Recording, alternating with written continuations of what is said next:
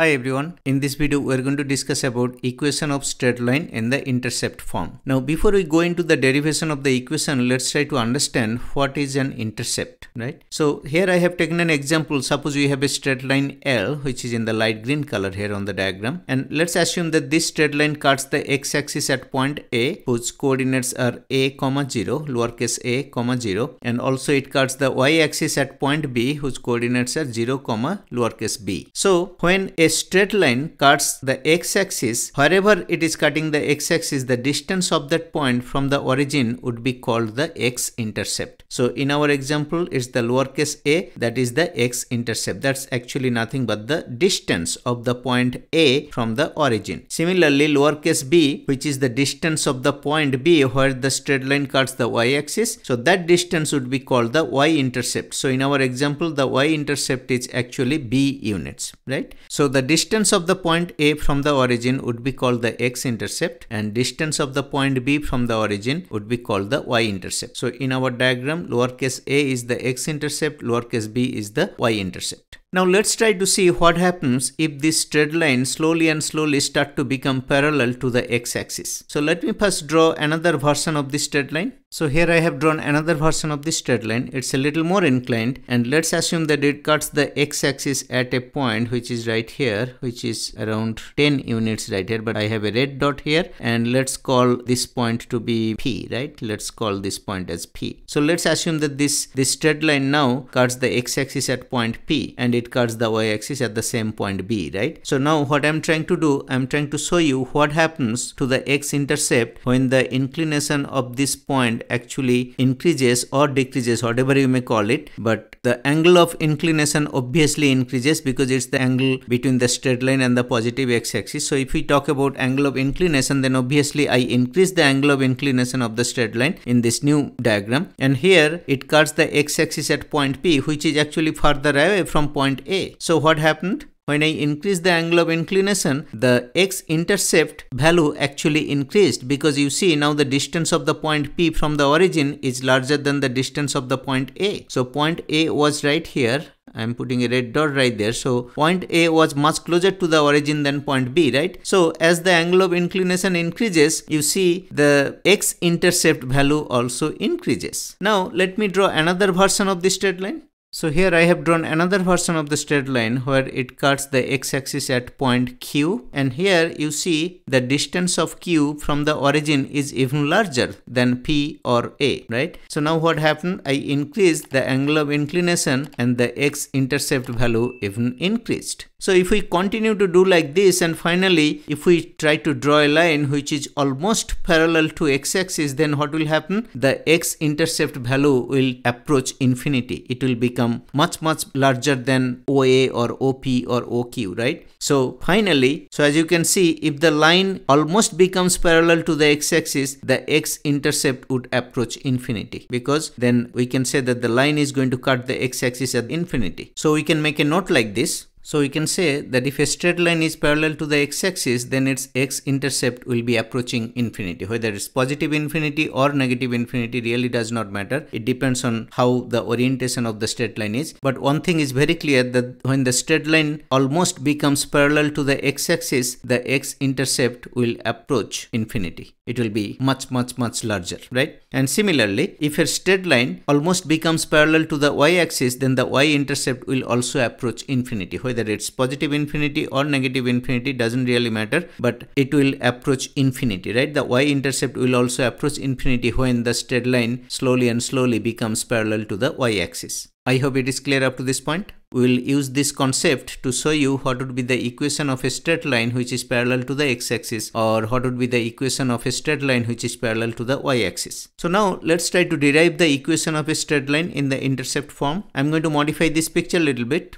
So in this diagram, as you can see, we have a straight line L and it cuts the x-axis at point A and it cuts the y-axis at point B. The coordinates of A are lowercase a comma 0 where the lowercase a is actually the x-intercept and similarly the coordinates of B are 0 comma lowercase b where the lowercase b is the y-intercept. Now let's assume that we have a point P on this straight line whose coordinates are let's say x comma y. Now I'm going to draw two little triangles here.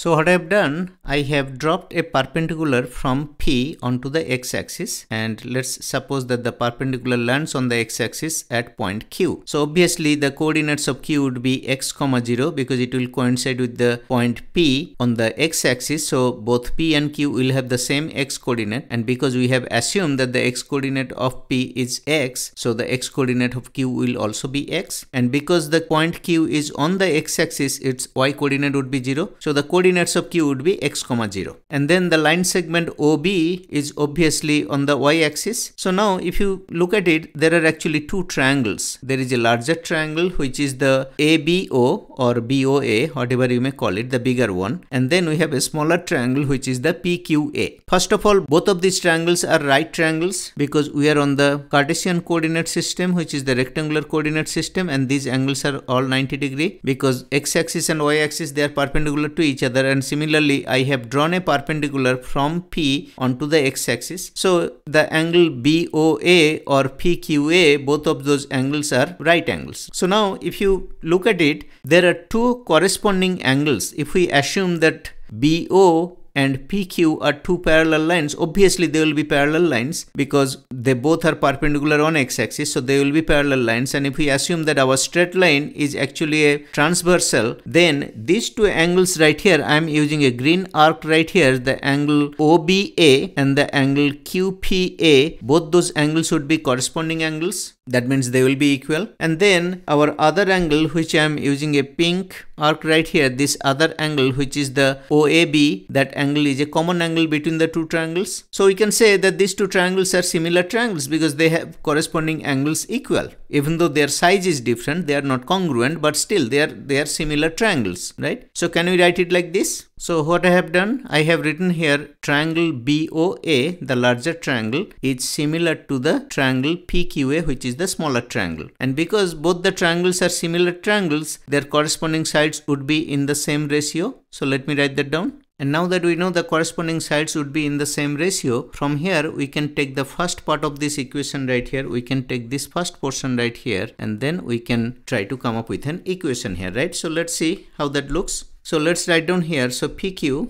divided by BO is equal to the ratio of QA to OA now, if you think about it, so from here, what is the length of the PQ or what is the distance of PQ? What is the PQ distance? Let's look at our diagram here. So PQ distance is actually Y. Why? Because the Y coordinate of P is Y and so obviously PQ would be Y. So for PQ, can we use Y and then divided by what is the uh, BO distance? Well, BO distance is actually the Y intercept which is lowercase b. So we can say it like this lowercase b and that will be equal to so what is QA? Let's see the distance QA. So QA would be the x intercept minus x because OA is the x intercept and then OQ is lowercase x. So QA would be A minus x. So we can say A minus x for QA and then divided by what is OA? Well, if you think about it, OA is nothing but the x intercept which is the lowercase a. So it's going to be like this. And then from here what do we get? So from here we can say that y divided by b is equal to, now if we distribute the denominator across the two terms here, so it would be a divided by a minus x divided by a and then from here we get y divided by b is equal to 1 minus x divided by a. And then if we bring the x term to the left side then we're going to get something like this. So it will be positive x divided by a plus we already have y divided by b and all of that will be equal to 1 and that is our equation. That's exactly what we wanted to derive. So this is the equation of our straight line in the intercept form. Now why do we say it is in the intercept form? Because here you see we have only the two variables x and y. And other than that the only other unknown would be the intercept. The x intercept which is the lowercase a and the y intercept which is the lowercase b. So because this equation is expressed in terms of the intercepts of this straight line it is called the equation of straight line in the intercept form. And now that we have the equation in the intercept form, let's try to use our concept of this line parallel to x-axis or a line parallel to y-axis, right? Now, as you can see right here, we already noted that if there is a line which is parallel to x-axis, then the x-intercept approaches infinity. Let's use that concept and see what happens. So now what I'm going to do, I'm going to try and come up with the equation of a line which is parallel to x-axis. So for a line which is parallel to the x-axis, we know that the x-intercept approaches infinity. Now if we use that concept, and by the way, x-intercept is actually the lowercase a, right? So let me, in parenthesis, let me simply write a. So we are actually talking about the lowercase a. So a approaches infinity. So actually I can write it like this. So that means from here we can say, okay, then a actually approaching infinity for a line which is parallel to the x-axis, right? And if that is the case, then can we use this value of x i mean can we use infinity in place of a? Yeah let's try that. And let's see what happens. So our original equation is like this. We have x divided by a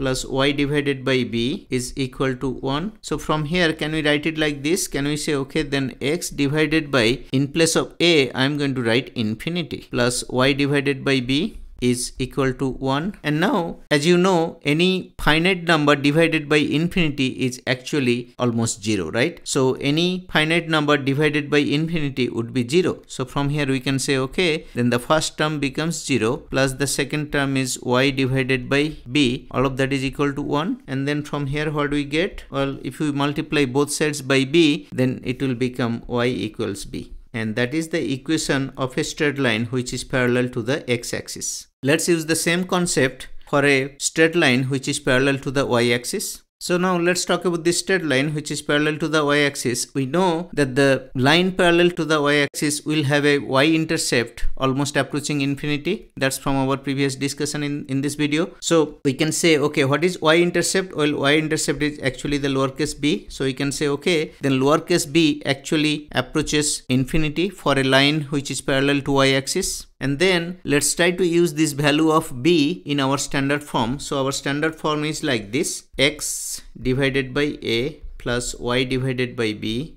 is equal to 1 and here in place of b if we use infinity then it's going to look like this. X divided by a plus y divided by infinity is equal to 1 and from here we can say that x divided by a plus a finite number divided by infinity that becomes 0 so that is 0 is equal to 1 and now from here if you multiply both sides by a then it will become x equals a. And that is the equation of the straight line which is parallel to y-axis so simply by looking at the equation, you can easily tell, you know, whether a line is parallel to any of the axes, right? So if you see an equation which is like y equals something, you know that line is actually parallel to the x-axis. And also if you see the equation of a straight line as x equals something, then you know that straight line is actually parallel to the y-axis. So let's take an example and see how we can come up with the equation of our straight line. Suppose we have been given that the x-intercept is equal to 5 and the y-intercept is equal to negative 3 and then we have to find out the equation of this straight line, right? So now what is the solution then? Well, our solution would be very easy. So let's say our solution is going to look like this. We know the intercept form of the equation of a straight line is like x divided by a plus y divided by b that is equal to 1. So here let's substitute the values of a and b. So it would be x divided by 5 plus y divided by negative 3. You see all I have done is I have used the value of a and b right here and then this is equal to 1. So now if we simplify this a little bit so it is going to look like x divided by 5 minus y divided by 3 is equal to 1 and that is our equation in the intercept form and this is the answer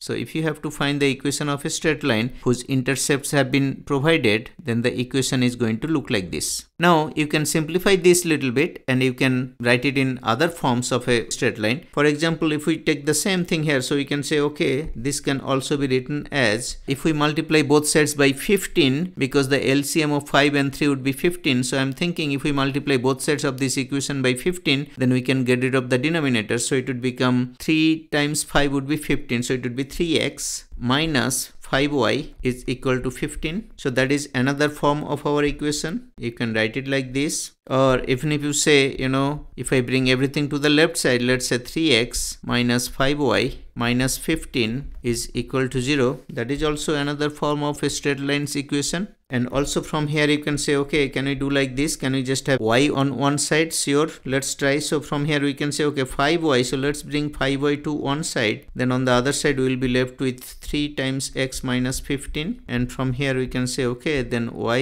is equal to 3 divided by 5 times x. So that is the coefficient of x and then minus 15 divided by 5 that would be 3 so that would also be another form of the straight lines equation. Even though they all look kind of different i mean the look and feel is different but they all represent the same straight line on the cartesian plane. I hope everything made sense so far. Thank you for watching. See you in the next video